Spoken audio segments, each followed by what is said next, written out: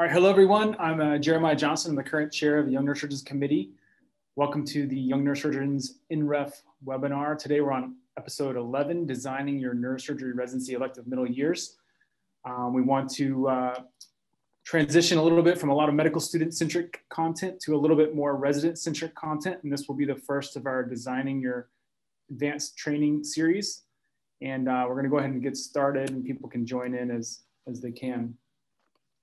Um, so for those of you who are unfamiliar with what the Young Nurses Committee is, um, it's, it's a committee of, uh, of the AANS. And um, the goal of the web series that we put on is to provide students and residents and young neurosurgeons with timely information, education, and inspiration towards a career in neurosurgery.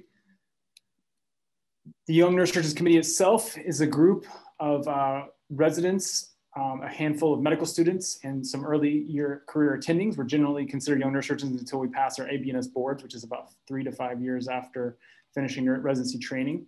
Um, this group of people are elected nationally and um, represent the AANS, our young neurosurgeons to the AANS.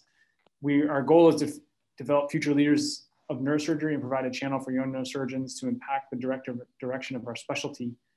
Um, and that's our goal. Uh, so what is the AANS, you may ask? Because 90 years old now. Um, it is, uh, stands for the American Association of Neurological Surgeons. It's a scientific and educational association with more than 10,000 members worldwide. It's uh, an organization that guides the field of neurosurgery and its roles include education, advocacy, promoting the highest quality patient care. Um, and we're all happy to be a part of that. NREF is an educational research foundation and is part of AANS. It's a 501c3 corporate corporation. Um, it supports basic science, clinical research, as well as lifelong education to foster improved outcomes for our patients with neurological diseases. They also support many research awards to residents uh, and students, as well as uh, courses for surgical skills that are extremely beneficial to uh, residents, medical students, and young attendings, including this endeavor, which we're very thankful for them for sponsoring us. Um, today, uh, one quick note is to follow us on social media for both uh, future webinar announcements, uh, other things related to young neurosurgeons, as well as a link to uh, the YouTube version of this webinar, which we posted either later this week or early next week. So in case you missed it, or want to watch it again or share it with someone, you can find it on our NREF YouTube uh, and Young Neurosurgeon page. Our featured guest today is Dr. Maher, Cormac Maher. He is a professor in the Department of Neurosurgery at the University of Michigan. He's the residency program director there. His subspecialty interest is in pediatric neurosurgery, but also does adult neurosurgery, uh, as I understand it. Uh, he's a, a distinguished Young Neurosurgeons alumni. We were just talking about the the committee and its evolution since his time on the committee. Um, we're proud to have him here. Um, his neurosurgical training was, uh, he did a residency at Mayo Clinic Rochester, his pediatric fellowship at Boston Children's Hospital and Harvard, and then he did his cerebrovascular fellowship at Brigham's Women and Children's Hospital, also Harvard affiliated. And one of his many accomplishments is, includes uh, being the editorial board of Journal of Neurosurgery Pediatrics. Dr. Maher, thank you for joining us. Really pleasure to have you. Yeah, thanks, uh, Jeremiah, for that uh, that kind introduction, and it's really great to uh, to be here uh, with all of you today. Uh, as we were talking about uh, right before this seminar got started, the the YNC I think has had a remarkable growth over the last few years. I think you know thanks to your leadership and others that have that were your immediate predecessors, and it, it's certainly a much a different organization than it was uh, 10 or 15 years ago. And, and I think uh, is carrying out some really important functions out there right now, speaking for, for young neurosurgeons and uh, as well as uh, the interests of medical students and, and residents as well. So, so uh, good work. And I'm very glad to, to be here with you today. That's great. I would want to interject before uh, you get started here um, that we have three other guests, which we'll talk after Dr. Maher as well as if you have questions for him or the other guests, you can put it into the um, chat function or Q&A function, I'm sorry, of Zoom. Um, and, uh, and we have an inter interactive time towards the end of the, after the talks. So we can, we can field some questions and even maybe get people to get people's questions answered either in person or in text. So we can do both, both ways, but just to let people know there'll be some time for interaction at the end. Yeah, thanks, Jeremiah. Um, so I was asked to speak today very briefly uh, on neurosurgery residency, in particular, the middle uh, years or the so-called research uh, years in residency, and just give a few examples of, of how we do it in my program, uh, as well as some of the, the issues uh, with this around the country. let's see. It's not advancing.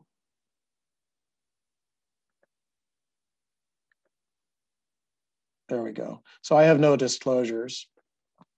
So uh, over the next uh, 10 or 15 minutes, I'm just going to talk about what the rules are that govern neurosurgery residency, uh, in particular, the elective time, uh, what your options are as, as residents uh, planning for your elective time, and then just give a few examples.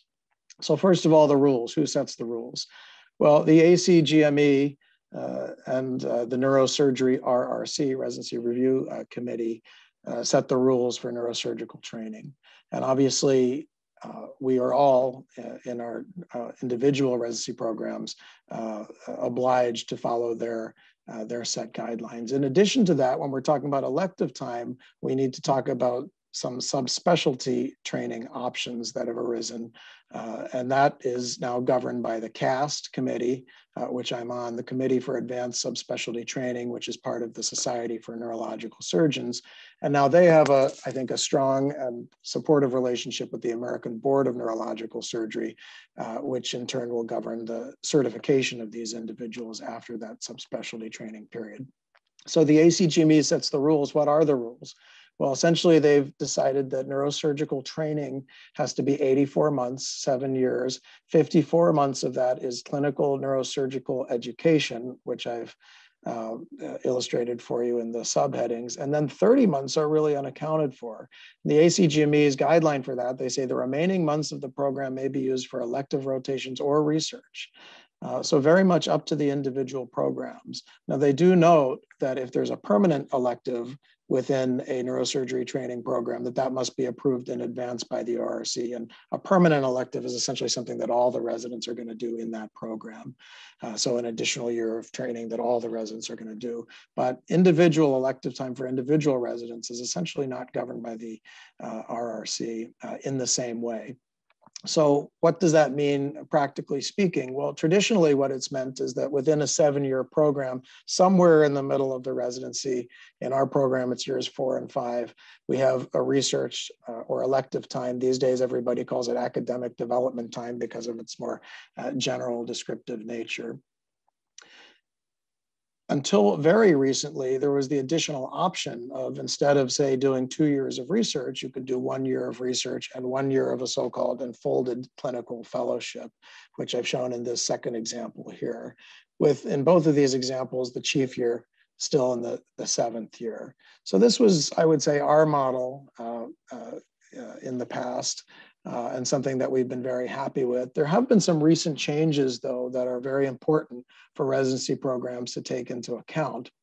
And that's essentially a change that the Committee uh, for Advanced Subspecialty Training, has, uh, the CAST Committee, uh, has made uh, with uh, the ABNS. Essentially, what they've done is that they've said if enfolded fellowships are going to count as a fellowship that will be recognized by the ABNS, it has to happen after the completion of the chief year and that the chief year can occur in years six or seven. So practically speaking, if people want an enfolded fellowship starting after this July, the chief year must be in PGY six and the enfolded fellowship must be in PGY seven. They can do any kind of subspecialty training they want during the elective years prior to those years, but it won't count as an official CAST accredited enfolded fellowship. There's two exceptions to that. One is neurocritical care, and the new rule as of very, very recently is that it has to occur after PGY4. So that's a little bit different than the others, uh, which are six or seven. And then the first year of the two-year endovascular training uh, can occur uh, earlier in the residency as well. So two uh, relatively limited exceptions to this PGY7 enfolded fellowship year. This is a relatively new rule and programs have had to adapt. So again, the old models elective time in the middle of residency, years four or five, chief year, PGY seven. Well, if programs are interested in doing enfolded fellowships in their residency, the new model essentially has been mandated uh, to be this, this third option that I've shown you here. You have one year of elective time uh, wherever you want it. Most programs somewhere around three or four. Chief year, PGY six, and then your enfolded fellowship year, uh, PGY seven. So some programs are going to this model and some programs are not. At the um, Society for Neurological Surgeons meeting a couple of years ago, I thought it was interesting. There was sort of an informal straw poll in the room of how many programs would move to the new model with the chief year in six and the elective uh, time in, in seven. And, uh, and some programs certainly were interested in it, but a large number of them were not interested in making this change. So I think it'll be interesting over the next few years to see which programs move uh, in which direction. And I think to some extent, uh, this will be predicated on what the residency program goals are uh, for the residents that they train. Uh, are they interested in training uh, mostly academicians? Are they interested in training uh, mostly uh, clinical people, private practice people? Um, how invested are they in certain subspecialties and so on? And I think how programs answer that question is going to determine what the program structure is in many locations uh, for their academic development time. What programs call it uh, can be illustrated of, illustrative of that too. We tend to call it research time in my program because that's what most people do. Uh, but again, many programs have used the word academic uh, development time as a sort of a euphemism that incorporates research, but also lots of other options that, that people can do. Uh, we try to be an academic program. Almost all of our, graduates uh, uh, go on to academic jobs. As these are just in the last eight years. Essentially, everybody except for uh, uh, one or two uh, people have gone on to, to get academic jobs. And that's something that, that we pride ourselves on. Um, and I think it's very much a part of our identity as a residency program. So when we look at our, our um, rotation schedule, and uh, ask these sorts of questions about what kind of a program we want to be. We frankly decided not to change our schedule. Uh, we thought it was important to have the two uh, consecutive years of research or academic development time in the middle of the residency to leave the chief year in year seven. And uh, if fellowships were uh, necessary uh, or desired that they could be done uh, at a different site afterwards. So that was a decision that we thought that made sense for our program, given the uh, desire we have uh, to uh, graduate uh, people that are extremely academically oriented. I think that other very good programs will make other decisions for their own good reasons, but that's the decision that we made. And right now we're very comfortable with it. We do revisit that almost annually um, uh, with uh, polls of the faculty and polls of the resident, but that's where we are as a program right now. So that means every resident in our program has two years, PGY four and five uh, for their academic development. Um, I think it's really important to emphasize, though, that that doesn't mean that people aren't doing anything with academic development until they become a PGY4. It's just the opposite for people to make the most of these important years, this process really needs to start the second you, you set foot on campus. Uh, and it and it really does. We have a mentorship program where all of our residents meet with uh, clinical uh, research mentors, a basic science research mentor, uh, as well as a the program director and the chair in their PGY one year, early in their PGY one year, they meet with those same people six months after that, and six months after that, and six months after that, and so on. Hopefully, getting progress reports on what their uh, on uh, on what their progress has been with respect to their research goals and their academic development goals. Now, what we see in this process is that the mentors that were assigned early may not be the best mentors for their career goals. And so their mentors might change over time. And that's that's frankly part of what that mentorship process is is to say do you know the right people at the institution to to achieve your goals? If not let me introduce you to them and then maybe they become your mentors going forward. So it's a discernment process. What kind of a person do you want to be when you graduate from this program? And then how do we help you get there? That's the mentorship process. And again, that has to start early, uh, in my opinion. once you decide what you're doing with your research time we encourage you if it's if you're doing basic science research we encourage you to get started with that early if, if you can't get into the lab early at least do uh, background articles early a lot of our residents have written review articles on the basic work that they're going to be doing in the early years we do require residents to make a presentation to the department uh, in the pgy3 year uh, about what they're going to be doing with their academic development time, allowing the whole department uh, to essentially uh, ask them questions about it and hopefully mentor them and help them uh, with that process. And, and the plan does have to be approved um, by the program prior to its implementation in years four and five. Now, in general, I like to approve every single thing that the resident can propose as long as they can make a solid case that whatever they've proposed is going to help their academic career. Um, and it can be uh, all sorts of different ideas that the residents can and have come up with. I don't have a preset notion in my mind for what this has to be, but they do have to make a case for whatever they come up with is going to help their academic career. And then finally, if it is a research uh, experience that the resident is going to have, then we encourage them to, to seek funding. Uh, the institution has an R25 uh, training grant, there's T32 grants.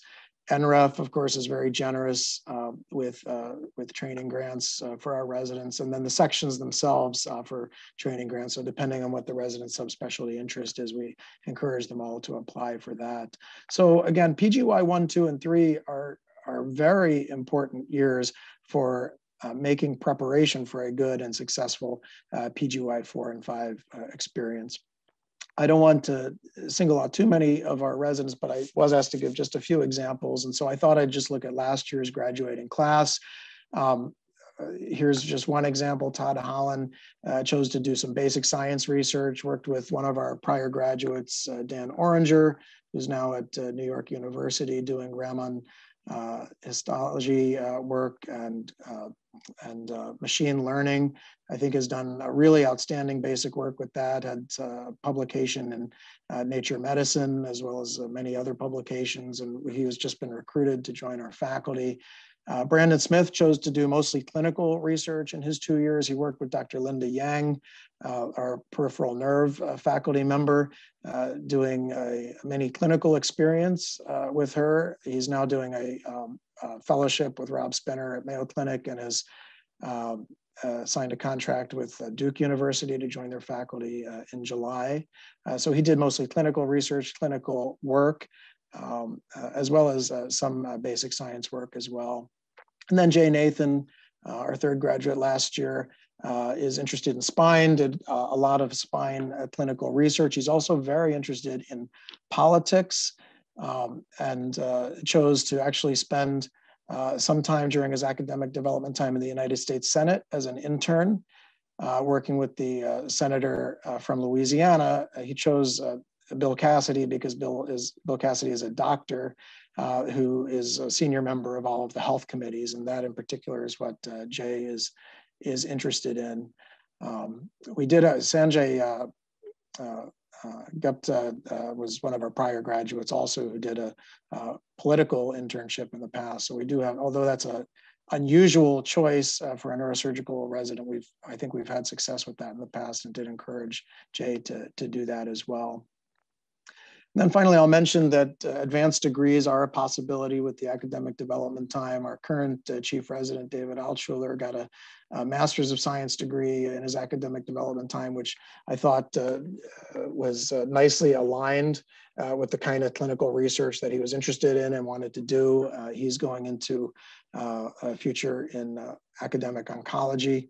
Uh, and has written some nice papers uh, in that area. And then Matt Willsey, uh, current PGY 6, uh, is interested in functional and epilepsy.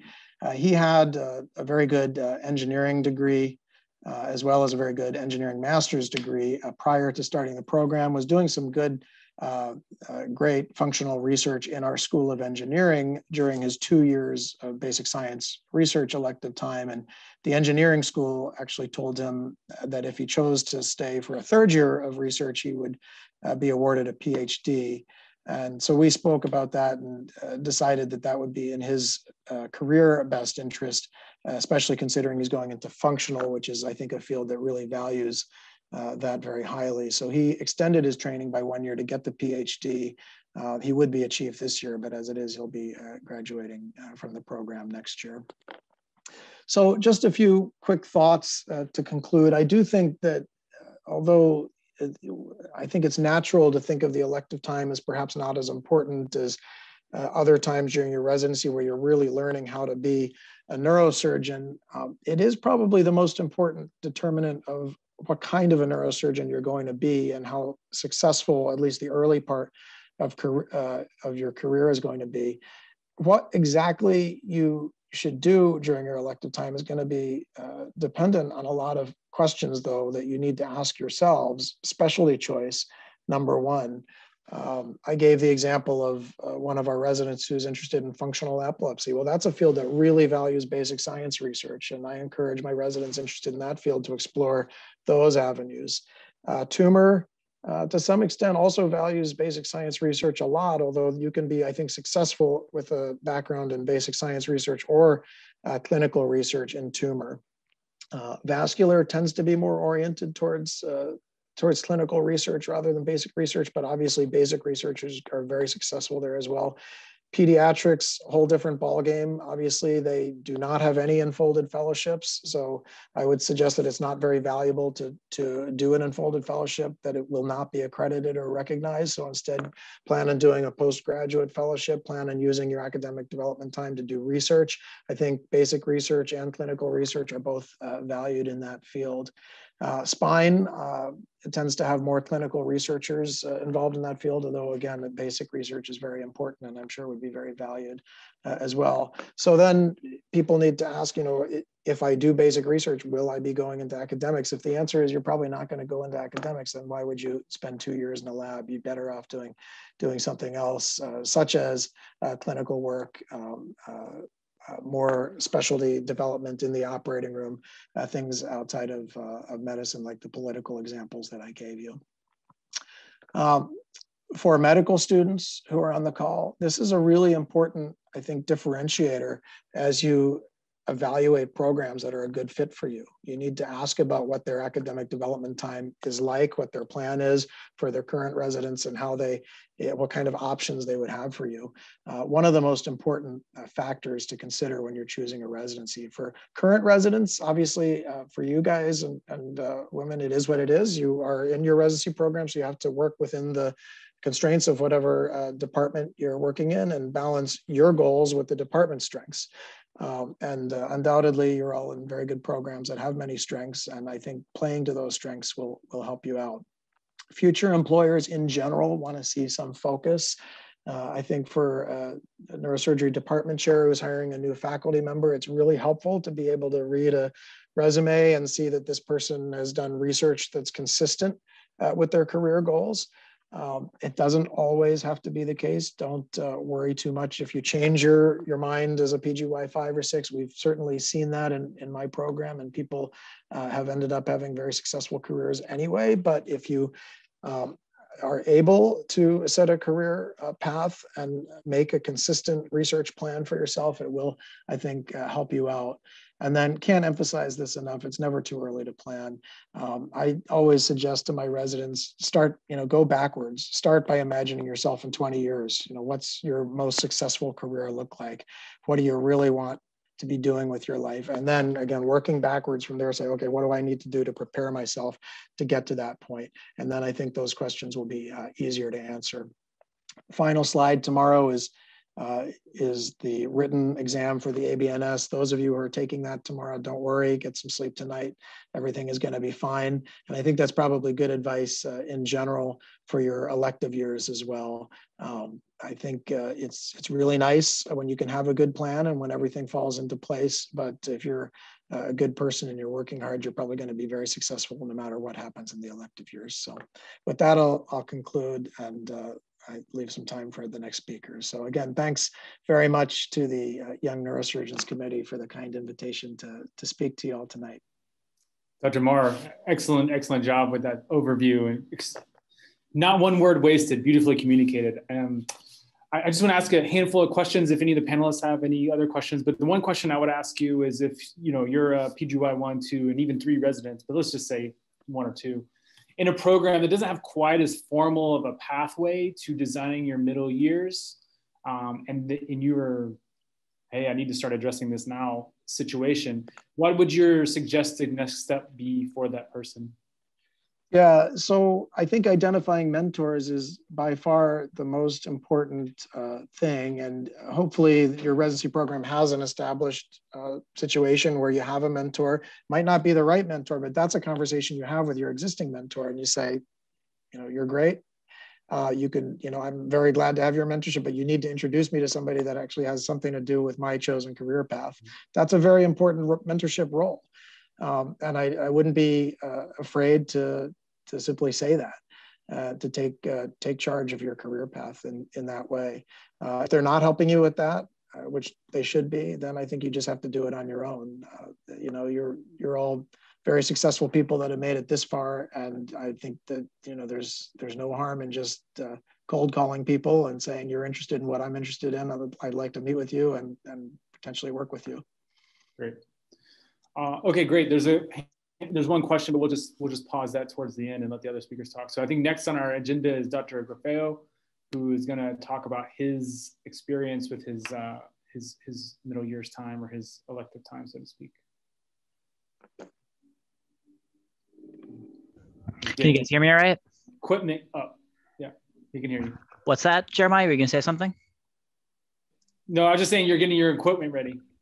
Yeah, I'm going back and forth between the speakers and the headphones, just uh, trying to optimize the sound quality. But um, anyway, hi everyone. Um, thank you for joining us tonight, and thank you, Dr. Maher, for that fantastic presentation. That really summarized a lot of the key points that I think kind of going into the the high level thinking about this and um, inform the understanding of really sort of, uh, you know, how the um, ACGME and the you know pertinent neurosurgical societies view things, which are obviously the building blocks that all the different programs put into things.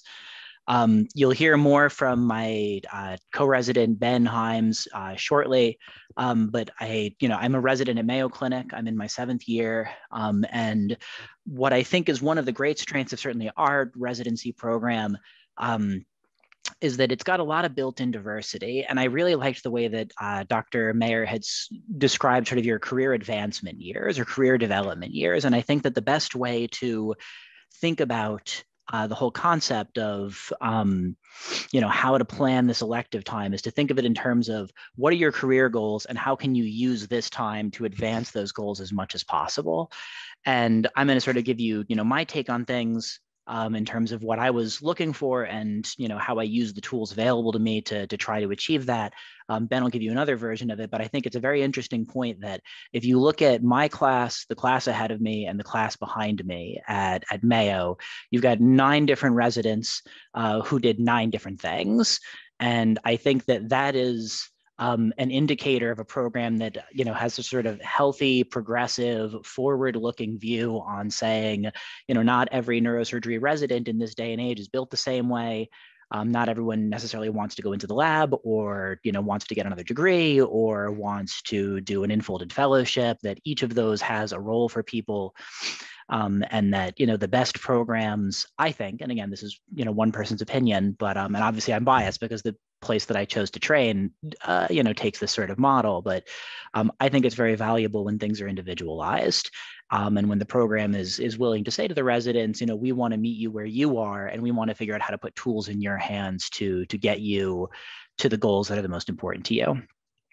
So, um, you know, my main interests are, um, you know, skull base and cerebrovascular. And from a research perspective, um, I've had a lot of interest in, in anatomic stuff, but mostly clinical, clinical research.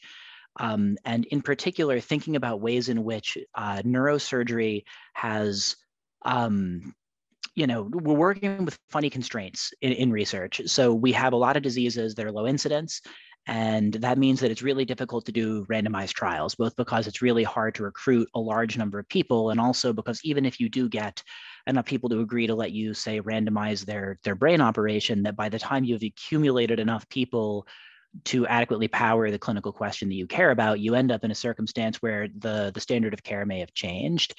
So we as a subspecialty in a way that say cardiology might not, or, you know, other large, uh, you know, sample size specialties might not, we really depend on observational research. But a lot of what's going on in neurosurgery research is still fairly simplistic in terms of we're looking at a lot of, you know, your case series and cohort studies and basic things like that.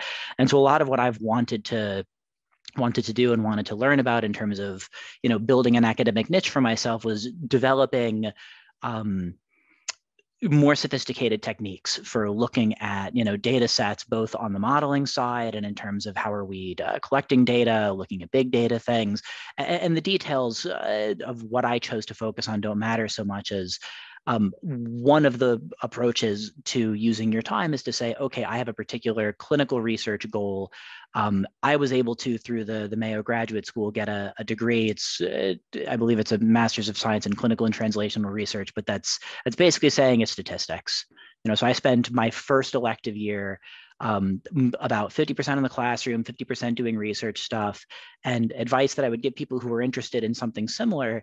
Um, whether or not you do a degree, I think it's it was very very helpful to me to go into it knowing what the clinical questions I was interested in are, and to try to pick a problem that is going to be very amenable to that kind of work. So I I happen to think Gamma knife is very interesting anyway as a technique. I think it, it helps a ton of patients. I think it's an incredibly useful adjunct to skull-base surgery and cerebrovascular surgery.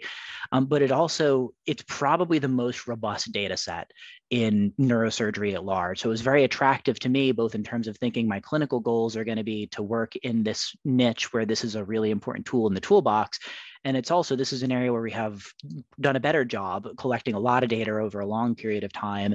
And I'm very fortunate to be, you know, at Mayo where we have Bruce Pollock, and it's one of the, you know, luminaries of the field and, uh, you know, Mike Link. And you know, there's been a lot of innovation here. A lot of people have spent a lot of time really tracking the data for Gamma Knife, um, you know, over decades now.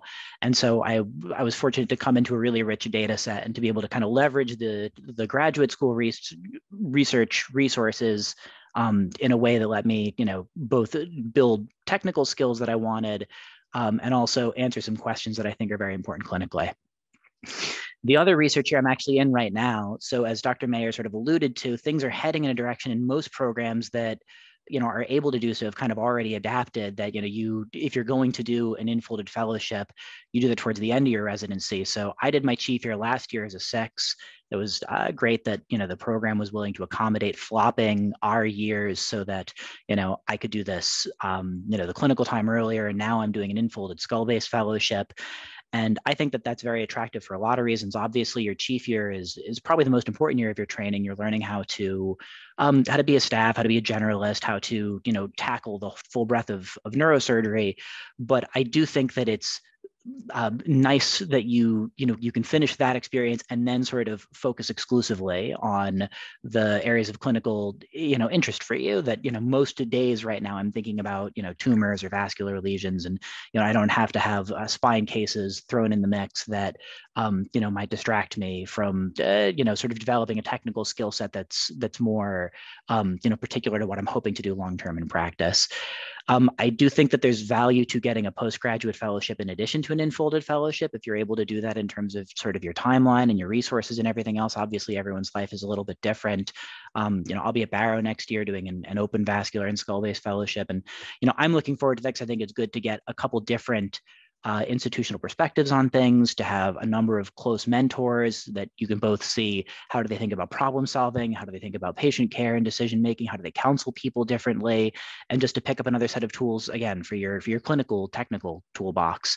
Um, but anyway, I know we only have a couple minutes each, and I'm happy to answer specific questions. I don't want to drone on for too long, but the, you know, I, am sort of like the mixed bag guy here. That you know, I I spent one year doing, um, you know, a master's degree and my my recommendation again is if you're if you're really interested in clinical research, I think it's very valuable to build a sort of robust statistical tool set. And I think the best way to do that is to try to identify a question that you think is important and a data set that you think is is rich and robust so that you can simultaneously learn by actually trying to answer a question. And then as you iteratively go through things, you will you will get better at, you know, the projects that I'm designing now, the you know, epidemiology is a lot more uh, sound than what I was doing a year ago or two years ago, and that's that's part of the process, and that's very valuable experience. And then, um, you know, on the other side of my chief here now, I'm doing an enfolded fellowship, and I think that these are, if you have them available to you, I think they're great experiences. They're a way to dedicate one of the seven years of your training to what you're the most passionate about um, to working really closely with mentors. Like in my case, you know, I spend half of the year with with Mike Link and half of the year with Jamie Van Gompel. So I'm getting a really spectacular, you know, operative experience and seeing the breadth of skull-base surgery. And you know, if you are someone who is very clinically oriented, I think it's a very good way to build, um, you know, as much sort of high-level technical expertise and decision-making expertise as you can while you're still a trainee. So I think that kind of summarizes my perspective on things. Um, and I guess the, the big take home for me is that the, the best case scenario is to try to find mentors and institutions that are going to do everything they can to both help you figure out what it is you want to do with your career and how can they help enable you to, to reach those goals. So I think I'll stop there. That's awesome, Chris. Um, one question that came to mind is just maybe we can ask each person that talks this, uh, since we asked Dr. Maher as well, is like, what was your experience early in your training setting this path for yourself? Like, you know, what was your program's plan to have you make these decisions and at what points in your training did you make them? That's a great question. Um, and, you know, it's, programs change over time. You know, even Mayo in the seven years I've been here has gone through a few different iterations of what do we try to do to help people coach you know through that. Um, right now we're at the point where like everyone gets sort of a mentor very early in residency. You might do you might pick up a second mentor who as you develop a subspecialty interest is more aligned with that um, you know, I was fortunate in that when I came into things, I both knew that I was a little bit oriented towards the, you know, complex cranial niche, and I had a chief resident, um, you know, Will Copeland, uh, who took uh, great interest in nurturing me and help connecting me to the staff, like Dr. Link and Dr. Van Gompel, who, you know, have been fantastic mentors to me the whole time. I would say that most people in our program start developing their interests um, and their plans probably in the second year. Um, you know, I don't think that everyone is committed to a particular decision by the end of their second year, but I think that people are at least leaning one way or the other and trying to figure out what's going to be the best for them.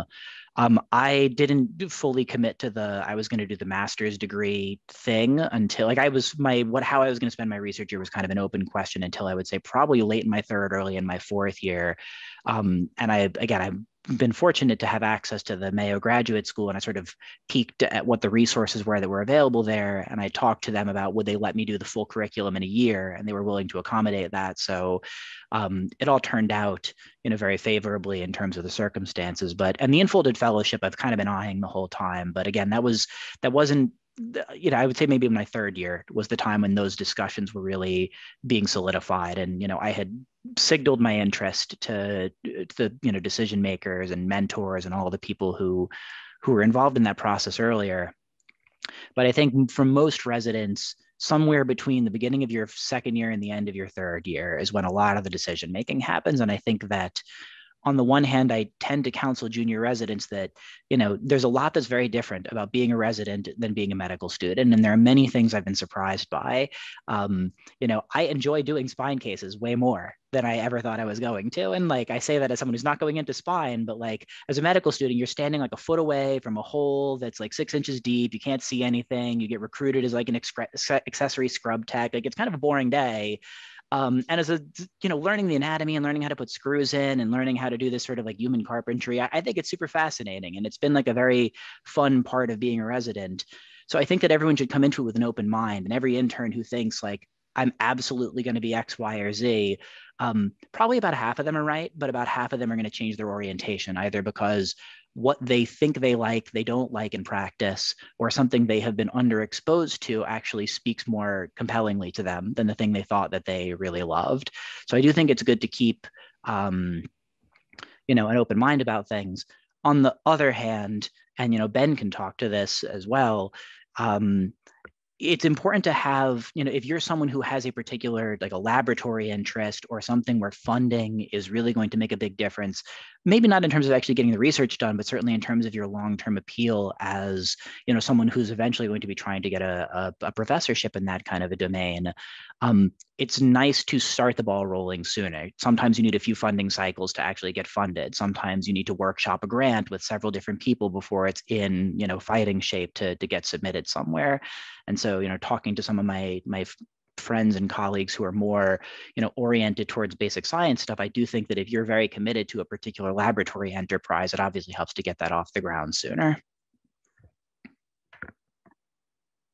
That's a great summary. Thank you, Chris. Um, I think uh, My we'll pleasure. have a few questions, uh, but we'll hold them hold them towards the end um, so we can get everybody's kind of experience in and then ask them as a potentially as a group there. Um, all right, I believe next is uh, David, and then Ben will be at the end with the with the, the, the big Monty, the PhD, his experience. Perfect. Uh, thanks, Jeremiah. Y'all kind of walk through my uh, kind of actually evolution in, in my interests over the course of my residency and uh, leading into my research years and how how they really molded what I ended up deciding uh, to do. But I'm now I'm currently in the second year of my open and endovascular fellowship down at uh, Semmes Murphey in Memphis, Tennessee. Uh, I did my residency up at Ohio State uh, before coming down here, and we had a very similar model to uh, what Dr. Maher was talking about. Um, where we had our fourth and fifth years were our, our research years, and uh, you could do some clinical enfolded fellowships in that if you wanted to. Um, I ultimately elected not to. Um, and speaking to Jeremiah's kind of initial point, uh, I really started the process in my, it was really my second year. Uh, I had two full years to go before um, starting my research time, but really kind of setting that groundwork was, was instrumental for allowing me to hit the ground running once my time finally came up. Um, I started out back in medical school. I did a lot of work in a basic science lab doing ischemia, reperfusion injury uh, research. Um, and there I was really just doing Western blots. I, I never touched a, a, mouse or a rat or anything. Um, I got the, got the samples and then it was my job after that to kind of take it to, to, to the finish line. Um, so when I came into residency, I was kind of planning on doing something along those lines for my research years. Uh, and I really, uh, my interests have essentially always actually been in, in vascular, um, both from an aneurysm standpoint, but from a research standpoint, a lot of my interests uh, revolve around ischemic strokes. That's really what I was was looking for. When I first started looking at the beginning of my second year, there was nothing uh, really that I could could find that was uh, was working for me. But then I, I, really got kind of lucky, and the timing worked out very well. Where uh, we hired a new vascular faculty at OSU, uh, Shahid Nimjee, and his work, his background is all in basic and translational research in ischemic stroke, and kind of developing new drug uh, targets and well, new drugs to target uh, von Willebrand factor uh, in in ischemic stroke. So um, my job in his lab was really to uh, work more as a translational scientist uh, and to essentially do a lot of mouse surgeries. It's a great way to actually kind of transition or use my clinical experiences uh, in the lab um, and really really kind of focus in on something that I already had some skill at in terms of microsurgery, but as a four, you obviously don't have a lot. Uh, and it was a great way to start to develop that more and it was a great way for me to bring something to the lab that wasn't already there. There's plenty of folks there that could could take care of the basic science side of things, that could take care of getting uh, MRI scans, getting functional studies done on these rats or on these mice. Um, but the the clinical side or the the surgical side of things, really, folks weren't doing. Uh, so a lot of my day to day work, I would come in at 5 30 6 o'clock in the morning as i would for my clinical rotations and i would start doing surgery on these on these mice and it was typically uh, uh, carotid cut down, causing ischemic strokes, uh, injecting thrombus uh, into the carotid and up into the MCA. Um, we also had an ICH model as well, where we would essentially take a filament and, and puncture their ICA bifurcation uh, to, to mimic a subarachnoid hemorrhage, essentially.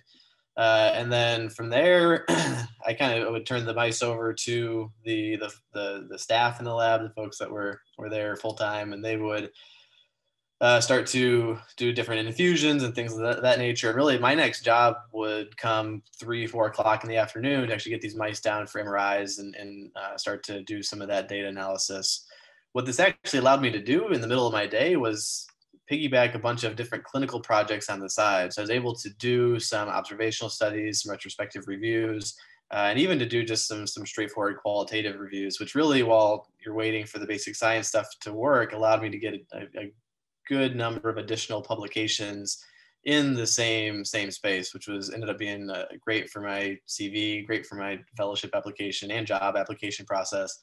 Um, and that ended up really kind of serving me very well. Um, the couple important points uh, my time during those two years was very much protected i had essentially no clinical duties uh, i would cover some call on weekends but that was about it day to day monday through friday i was completely protected uh, from from clinical work which really allowed me to be able to to do that i think if you don't have that kind of protection at your program it's going to be very hard it's going to be impossible uh, essentially to do something like this um, that, that was very, very helpful. Uh, the other thing that, that really served me very well um, during my lab work was made essentially a lot of friends and collaborators. So in addition to working with uh, Dr. Nimjian in his lab, whenever he got approached by another uh, either PhD scientist or somebody else that was looking for uh, clinical collaborators, uh, being available, being able to just essentially answer clinical questions for folks ended up uh, really serving me well. It helped me I mean, make a lot of friends and a lot, a lot of folks that I ended up uh, publishing stuff that is kind of neurosurgery related, but really it was just a way for me to kind of, I mean, meet, meet more people that were uh, of a similar mindset.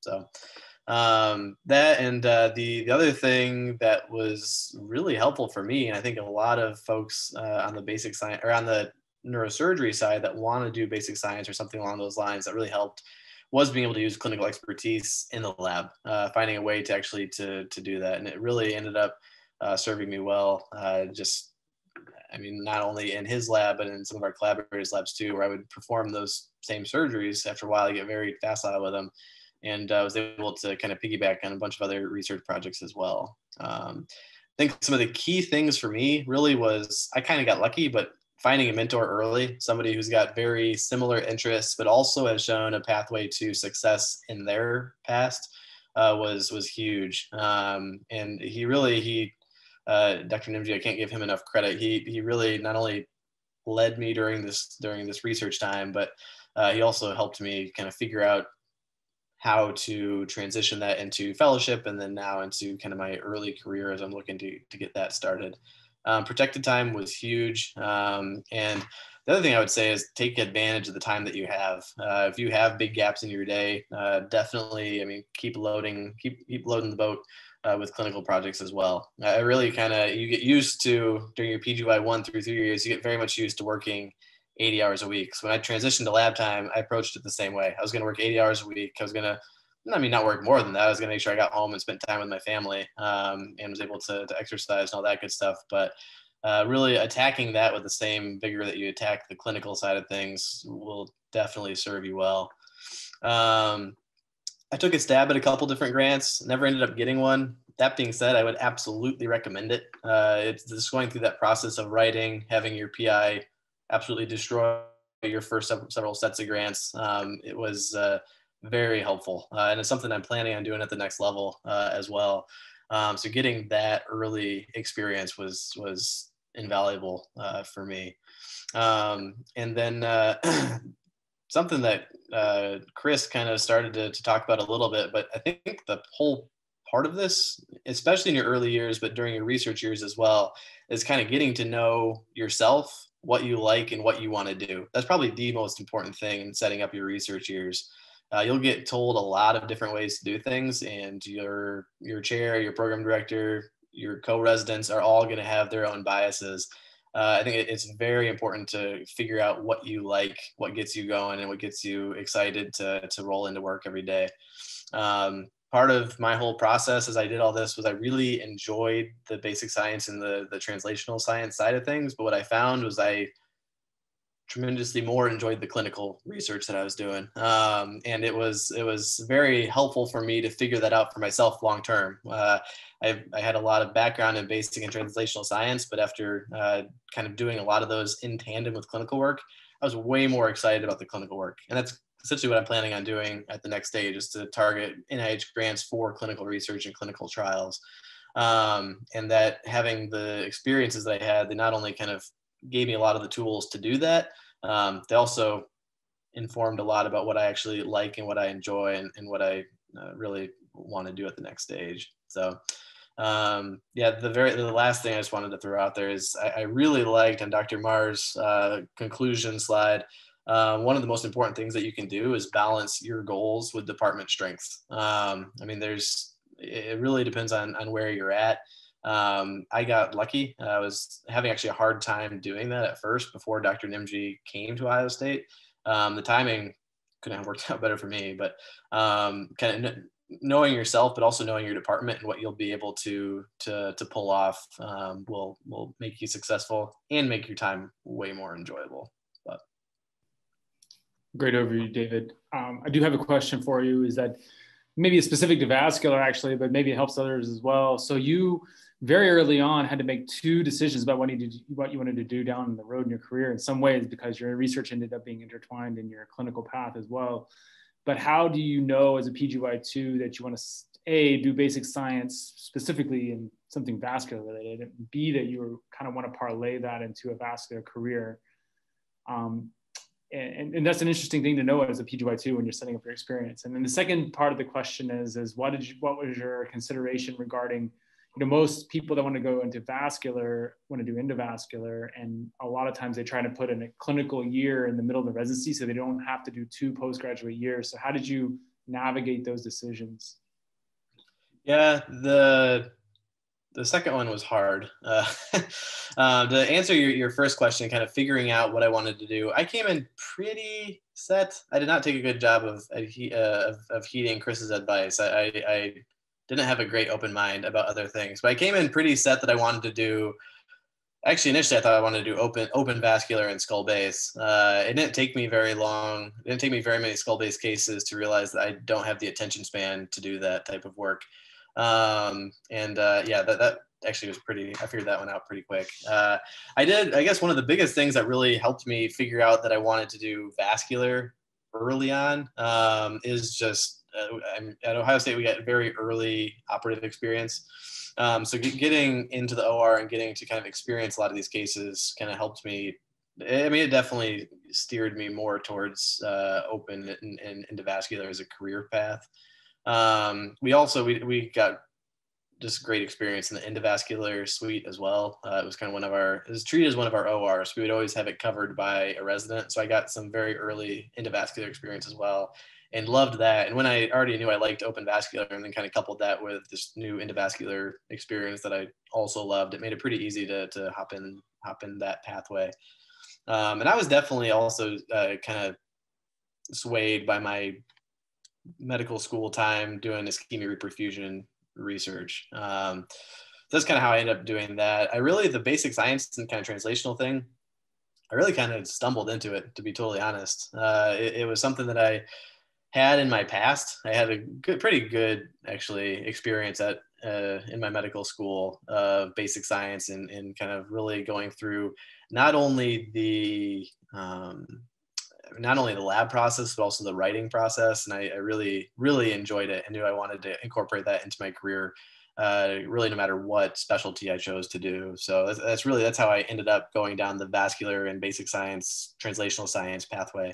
I assume um, if you, sorry to interrupt, but if, assume if you kind of want to do basic science for your middle years, um, you kind of had an idea that you're you're oriented towards academics. It would seem like, yeah, or no? Yeah. Yeah. So yeah, was, yeah. I had to had in mind, I guess, is yeah, this was all going to be moving towards an academic career. Yeah, yeah, and that's kind of always been a plan of mine. I've never actually, honestly, really even ever considered a private job. Uh, it just doesn't interest me. I, I, what I really like in, in neurosurgery is the I, I, love the teaching side of things and I love the research and writing side of things. Um, and it's hard to get either of those, much less both of them in a, in a private or a private academic position. So, um, yeah, and that was, that was really, yeah, that, that was never really a question uh, in my mind. Um, the other thing I was going to say, uh, you're asking about the, the option to enfold a, a year uh, in kind of in my middle years that was uh, very much an option Ohio State. They, they are, were very happy to let you enfold, especially one of the years uh, for your endovascular uh, fellowship during your uh, residency, and I kind of did that in a way. Um, I didn't have like a pure dedicated endovascular chunk of time. I could have if I wanted to. I just I, I really wanted to focus on lab. I really wanted to make sure I did the lab thing right. If I was going to do the basic and the translational science thing, I really wanted to fully invest in that and to uh, not allow myself to spend too much time doing other endeavors that were going to detract me. I really wanted to kind of just jump, go all in, and and and be successful or not, um, but really make sure that I did it, did it the right way. Um, I did though during I kind of mentioned before I did a lot of mouth surgeries in the morning and MRIs in the evening with a lot of time in between. Um, in addition to doing clinical research in between, I got into the endovascular suite a lot uh, during those couple years uh, during that chunk of time. Um, I would focus on days where they had a lot of just diagnostic angiograms where I could kind of start to get my skills up and kind of hammer a bunch of cases out. Um, and it ended up working out pretty well. I, I, had about 300 endovascular cases before I even got done with with uh, my research years. Um, so if I if I had wanted to, I probably I mean I'm, I'm sure I could have. I interviewed for a couple different one year fellowships, but um, I to my I, really wanted to come to, to Memphis for fellowship. It was that was far and away my number one choice, and it was it's also a non-negotiable two years here. um, so I, uh, I was perfectly fine kind of jumping in and, and, investing the additional time in that. So awesome. Yeah. So it sounds like you kind of got both done. That's great. Yeah. All right. Third, third panelist here, uh, presenter, Dr. Himes. So uh, he is, uh, can you introduce yourself? Uh, I, I, I kind of, we skipped the introduction slide I typically have for the panelists. So maybe sure. just yourselves to everyone and then, and what your experience was. Yeah. Um, so hope everyone can hear me okay. I'm uh, Ben Himes. I'm in my eighth year chronologically here at uh, Mayo Rochester now, um, doing a neurosurgery night school, as uh, at least one of our staff has uh, told me. Um, so uh, I'm interested principally in neuro-oncology, and I used my elective time to complete an enfolded PhD in immunology through Mayo Graduate School, uh, which we do our elective time in the fifth and sixth years typically, uh, which I did that, then basically tacked on my seventh year uh, in the lab there, defended my thesis in July, then came back to do my chief residency year this summer. And I will be graduating residency, but staying yet one more year here to do a neuro-oncology fellowship with um, Dr. Parney and Dr. Burns here, mainly focused on um, intraaxial tumors, um, motor mapping, um, kind of eloquent glioma surgery. Um, you know, the Chris and David really, I think, touched on a lot of the really key points. Uh, no matter what you want to do, that I think are perhaps ratcheted up a little bit if you want to do something more complicated like this. Um, having a plan fairly early on, uh, making people aware of that plan is critically important. Um, really identifying good mentorship early uh, and I think most importantly, having a reason for doing it, being very goal oriented in your approach. I think, particularly in the lab side of things. I think if I'd not done the PhD, I still would be going in to the lab for two years and I'm a basic science lab rat. I like that. I like doing some flow and Western blots and making some mice angry um, as opposed to doing more clinically oriented things.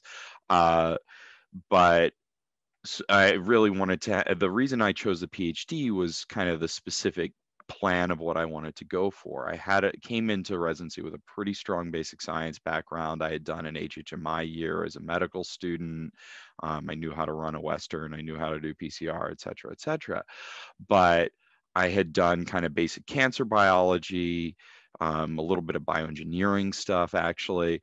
But um, if I decided kind of my goal was I want to try to shoot to be an independently funded investigator, ideally have my own wet lab and kind of split time between clinical um, neurosurgery in the lab.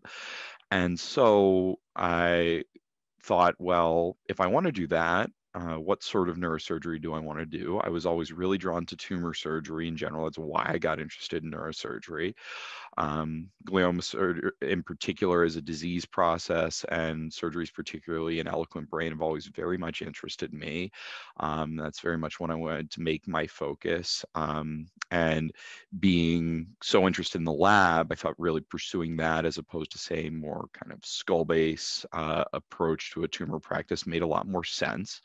Um, and so if I wanted to do that, then well, what sort of basic science would really dovetail nicely for that? And um, I'm pretty interested in tumor immunology. That's, you know, I think we're still, I think that's an area that still has a great deal of potential to be transformative in uh, CNS and intracranial oncology and potentially in treatment of gliomas, but it's certainly a nut we've not cracked yet as a field. Um, so that's some, an area I really wanted to spend some time in but um, immunology is not a field that one picks up overnight or picks up casually.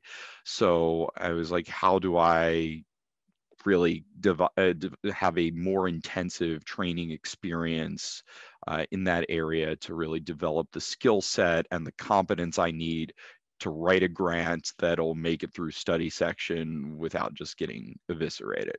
Um, and so uh, the PhD in my sense was very appealing from the sense of protecting my time in the lab was very appealing in the sense of providing me with the formal structure and formal kind of pedagogy to be like, okay, we will teach you to be an immunologist. Um, I was, it was pretty clear from the outset that I was going to do my PhD in Dr. Parney's lab. Um, you know, that was the plan, but I still had to go through the whole process of I applied to graduate school, I had to interview, I had to do rotations in a few different labs. I had to form a thesis committee. I had to do uh, qualifying exams, the whole the whole deal. Um, and that was very useful in terms of creating a strong foundation in an area of science where I had some understanding and I had the basic kind of core laboratory competencies to do the work, but having the formal training in the field that I really wanted to build into my career uh, is what that provided for me. Um, and a point that I think David made uh, about being in the lab that I think was really critical in the PhD really helped ratchet up to that next level was uh, getting connections with other investigators, uh, particularly other basic investigators. Having somebody who you've spent two months rotating in their lab and who is on your formal thesis committee, um, in terms of creating somebody who you can will potentially be on a committee to mentor a K award or be able to write you a letter or be a co-sponsor on a grant or things like that. Um, you can get people at kind of another level of basic scientists to kind of give you the time of day that it can be challenging to do if you're just you know in the lab for an undefined period of time they have a sense of responsibility to you that i think is incredibly useful um, that i really got to work with um, haidong dong and richard Vile who are some of the very kind of prominent basic immunologists here um, that I think really um, I'm hopeful certainly will pay dividends in the future and certainly did um, over the past few years. Uh, one thing I, I, think was really critical, if this is something that somebody is interested in, is unless you're at one of the very few programs that has something like this arranged, there's going to be a lot of groundwork that needs to be laid. And institutional support for something like this is so utterly critical. Um, I think Dr. Dr. Maher mentioned that uh, one of his uh, residents is pursuing a similar path at uh, Michigan right now. And just the idea like you're going to need to extend your training to do a PhD, just full stop. That's already going to create numerous logistical hurdles for your program, and your program's going to have to support. Dr. Spinner and Dr. Van Gompel had to be very on board with me doing this.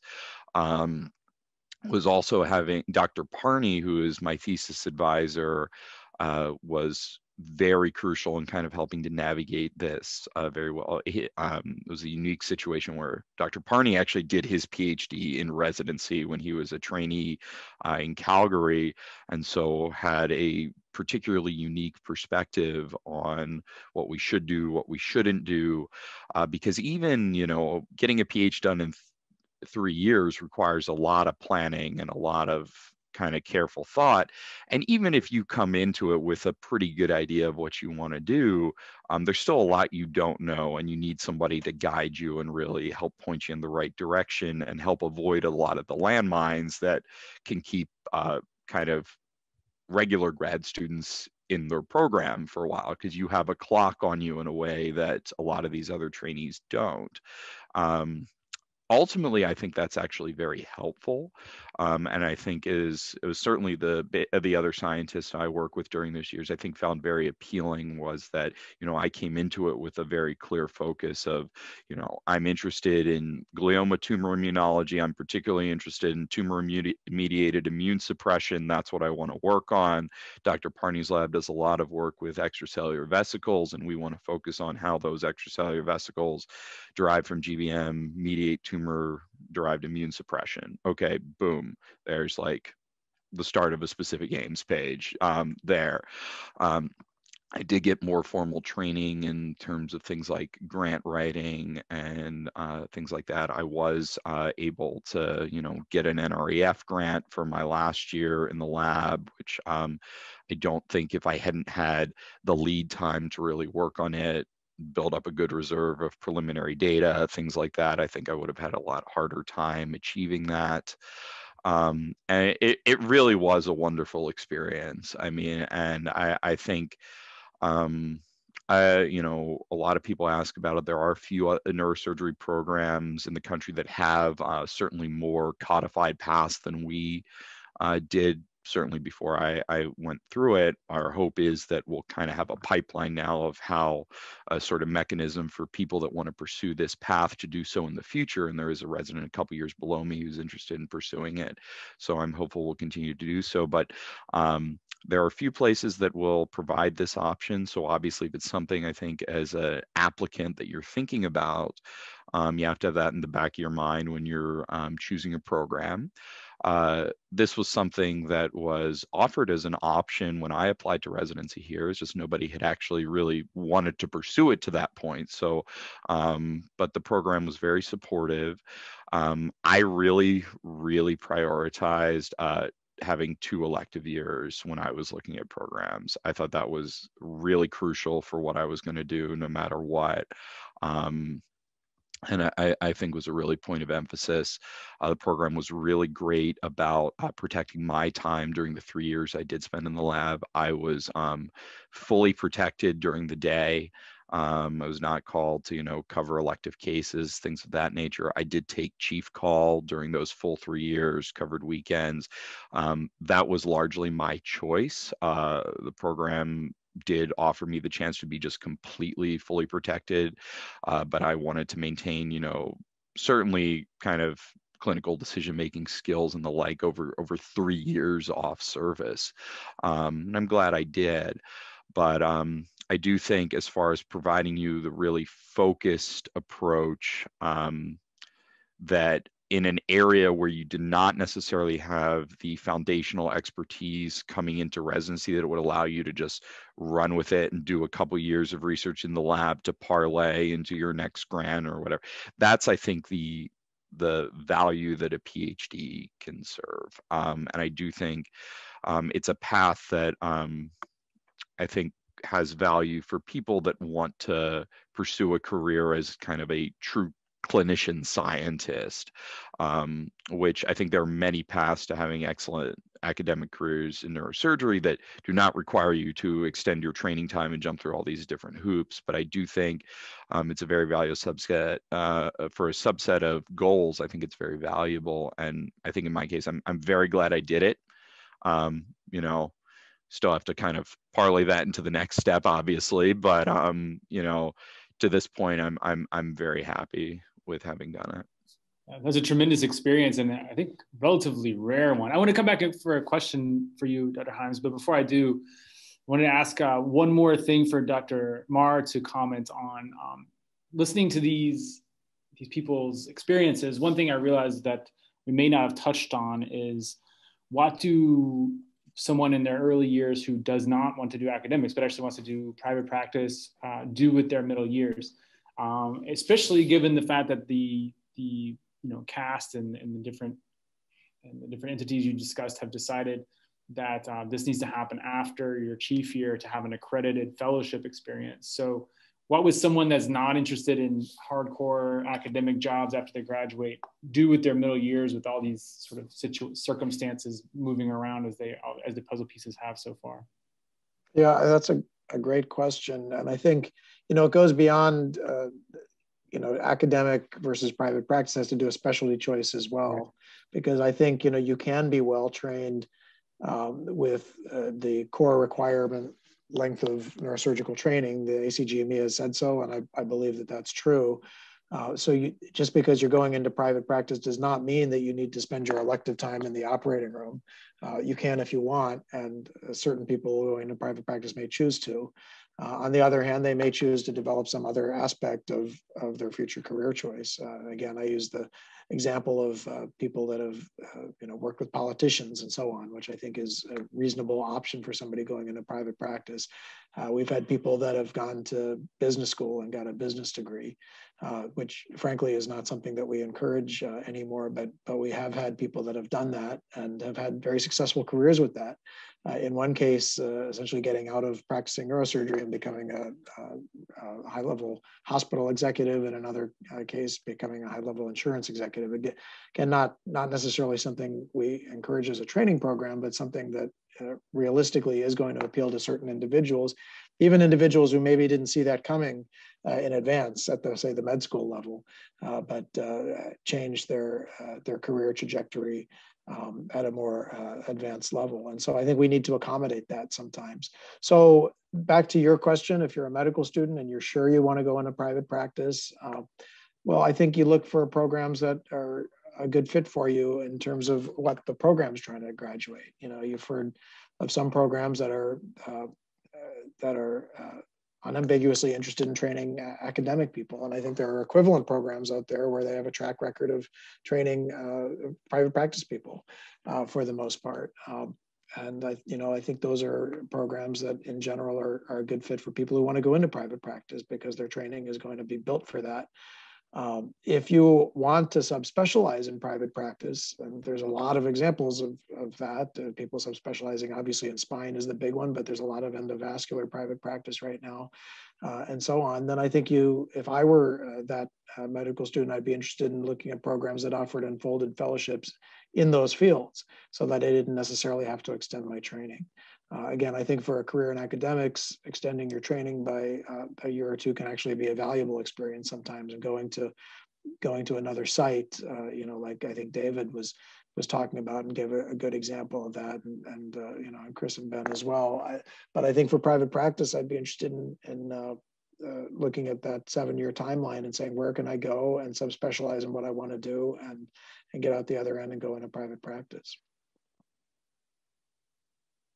That's, that's great insight. And, and I've actually, you know, had co-fellows and residents and things like that, co-residents, I should say, who uh, did years in the lab and, and really enjoyed their experience uh, and thought they learned a lot about being critical with science and what's published, um, you know, and also into private practice after that experience and, and thought it was useful. So I don't think you necessarily have to only do one path if you're going to go into private practice or, you know, um, uh, so that's another thing to keep in mind, I think.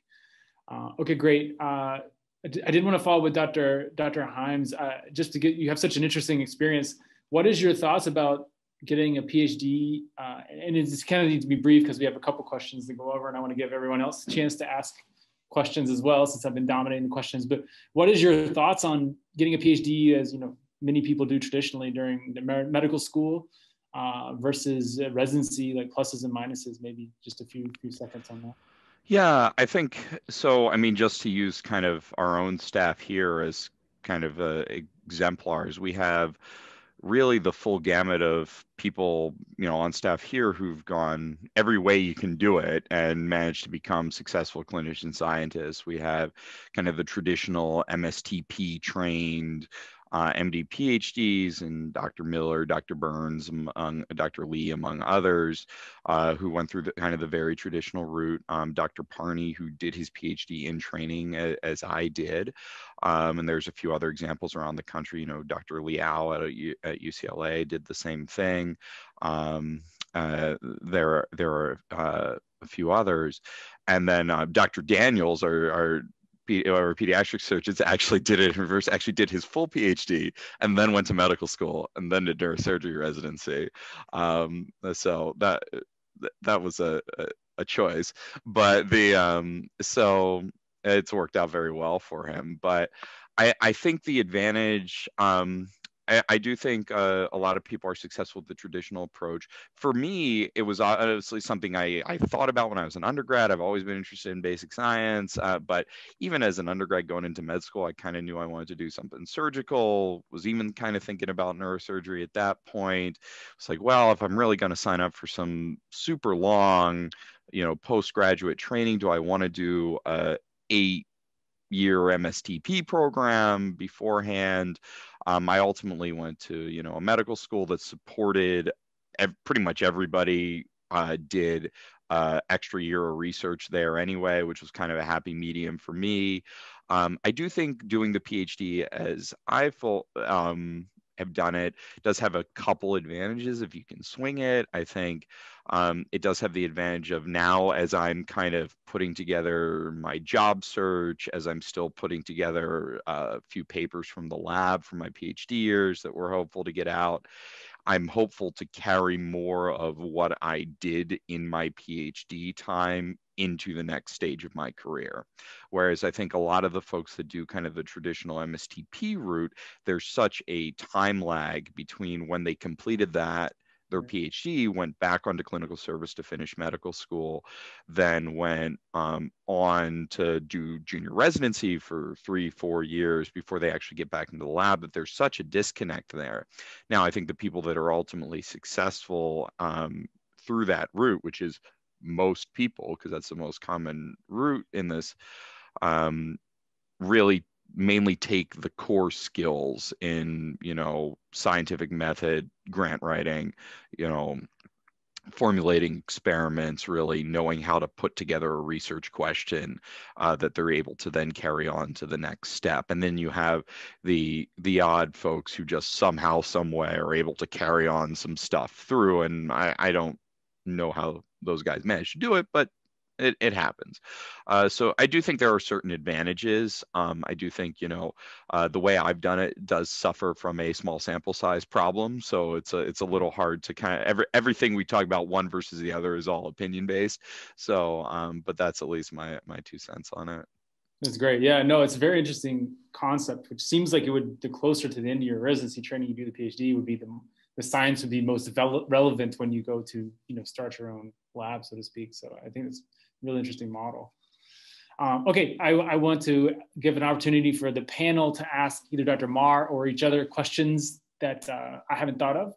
Um, and if no one has questions, maybe we can answer a couple of them uh, from the audience.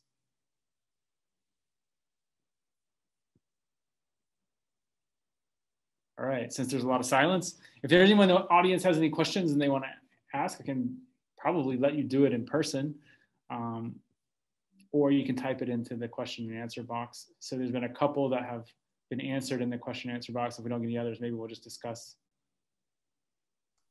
Uh, I guess we kind of discussed one. One, one, uh, one question I'll throw out there for Dr. Maher or whoever else wants to wants to discuss it. This is kind of a uh, guess the future, prognosticate kind of question. But uh, with the way things are now switching, where you can actually do a legit fellowship during your residency years by tagging it on as your seventh year. Do you see more, I guess, more programs starting to shift to that model? It's, it's going to be hard to kind of get over the hump. You're going to have weird years. We've got double chiefs, but um, do you see people slowly starting to shift to that model just because you can, I mean, you can save years on your, on your career that way? Yeah, that's that's a great question, David, and it's it's really tough to answer because, as you say, you're just sort of making a guess here about the future. I, I think that uh, the closest I can come to answering that is is just referring back to that sort of informal straw poll that we had at the SNS meeting a couple of years ago, where we discussed this issue of the enfolded fellowships moving into PGY seven.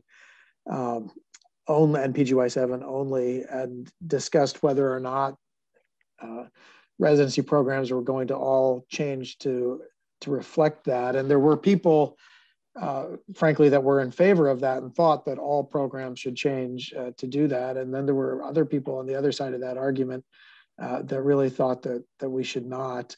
It sort of reminds me of the situation in neurosurgery. Um, you know, uh, 20 years ago, uh, when we had some programs that were that were six-year uh, training programs and some programs that were seven year training programs. And it wasn't always predictable, uh, you know, which were six and which were seven. You you might guess that the the more private practice oriented programs were the six year programs and the more academic programs were the seven year. And that wasn't always true, actually. There was sort of no rhyme or reason to it almost, I think, as a observer to which programs were six and which programs were seven. Well, well, now in the current landscape, we have some programs that are changing and are moving their chief year to six and uh, and then moving a, a, you know the elective or enfolded fellowship year to, to seven like like Chris was talking about uh, with his experience at Mayo and some programs that that are not. Uh, and I think my guess and I admit this is just a guess I think that the programs that are going to change either already have changed or very much in the process of changing um, and I think the programs that haven't changed yet are probably uh, not very interested in changing. And the only reason they would change um, is if there's a, a, a, change on the level of ACGME. Uh, like, for instance, if we go back to uh, only a mandated six year training period, which we don't have right now, uh, I think that a lot of programs are uh, really like the two years of academic development time where they are, feeling like it's very important to have protected two years in a row um, as part of their their culture. Uh, and I think the only thing that would change that, as I said, is something happening um, above the program level, like in the ACGME level. My best guess is that's not going to happen. So that therefore, my best guess is that the landscape five years from now will be very similar to what we have right now, which is that some programs are doing it and some programs are not doing it. And that's that's probably good and healthy, right? That that programs are deciding what's best for themselves and, and their own residents because they, you know, we're all serving sort of different constituencies uh, with respect to what our goals are. Yeah, I think that makes a lot of sense. Um, I mean, it, you kind of actually alluded to it before, but talking about kind of the uh, the the culture at Michigan and, and kind of I mean, it's obvious it's a very academically oriented culture where a lot of the trainees end up going that route. And I think what, at least what I've noticed over the last couple of years is, and even more so than I did when I was on the med school side looking in, but the programs have very different uh, cultures and very different personalities. Um, and I think it is actually helpful to have multiple different types of personalities different programs because med students are obviously not all cookie cutter made the same way. So it's nice to have a little bit of variety out there. Um, I mean, I think a lot of a lot of a lot of neurosurgeons probably look at it as there's a lot of different ways to skin a cat. My way is the right way, and everyone else is wrong. But uh, I think at the end of the day, it's helpful to have multiple uh, multiple different ways to do it. All right, that's excellent. I, I think we're getting close to the time. If we have any quick questions, if not, I can kind of close things up. All right, awesome. I wanted to um, kind of go back to the beginning and say in conclusion kind of the idea of this episode was really to get people who were in medical school and junior residency to think about this as early as possible and kind of highlight the importance of thinking about this early uh, because you may find that it gets a little bit too late for some things you want to do uh, if you don't think about it early. Secondly i think something that i've even learned and, and would probably agree with something dr. Maher mentioned was that you may want to think about this even as a student when you start looking at programs. And I know it's hard to project what you're going to do as an attending when you're a student sometimes, but if you know that, or at least have a suspicion of that, you may want to target certain programs that have setups that will help you achieve those goals, even as a medical student level. Um, so hopefully that's helpful to people as well. Um, I want to kind of share my screen again and close uh, with a few slides here. All right. Um, before we close, I wanted to thank uh, Dr. Anna Uh, she does a lot of the behind the scenes work, often answers a lot of the questions from the audience, but since there were very few, she hasn't had a chance to get on and speak, but she does a tremendous amount of work to make sure that this happens every, every uh, few weeks. And I want to uh, make sure I acknowledge her. The next webinar episode is actually gonna be next week. It's a special edition, uh, which will be uh, co-hosted by Dr. Dornbos again, but this is, in, is also in collaboration with, um, with the CV section and Young NIR. Um, this will be uh, next next Thursday, and we will be talking about it on social media shortly. So stay tuned for that one. Uh, just follow us on social media if you want to see that. Also, a lot of complementary information to what we talk about here. We also cover in our podcast, which the AANS and the Medical Student Neurosurgery Training Center uh, co-hosts this with, uh, co-runs this endeavor. So please check, take a look at that if you want more information along these types of lines. Um, we also wanted to say how proud we are of our former AANS staff who worked with Young Neurosurgeons Committee for many years and has recently retired. And we started a NREF Honor Your Mentor Fund with the funds that go into this uh, um, fund coming out eventually to help support medical student involvement in national neurosurgery and our committee uh, and mentorship. So please, if you have anyone that is interested to donate or uh, just spread the word about it, um, that's a great, a great cause.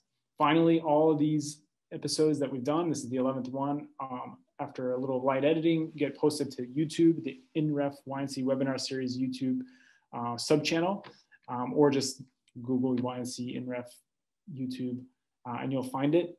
Um, so if you want to go back and watch this again later or share it with friends, it'll be linked there and we'll share it on our social media also. Uh, I really wanted to thank all of our guests, Dr. Maher, Dr. Himes, Dr. Graffeo, and Dr. Dornbos, as well as Becky Schur, who and Anna, who do so much of our hard work to get this going. Uh, and thank everyone who is watching, and hopefully this is helpful to everyone and helps people plan for their futures more effectively and going forward. If you have any ideas or feedback, we have a Gmail uh, account which we check, um, and happy to take that. Uh, and with that, I really want to thank everyone who gave their time to to make this possible, and hopefully it's helpful. And we will sign out from here. So thank you, everyone.